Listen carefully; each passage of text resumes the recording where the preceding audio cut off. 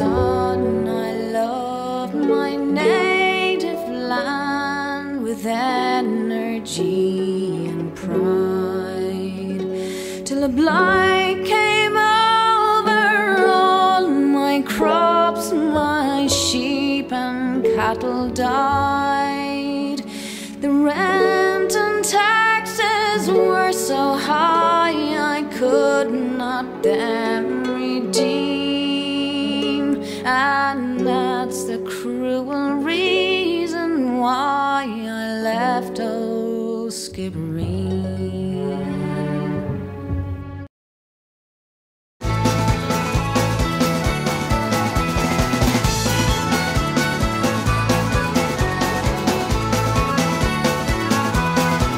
I shall fall progress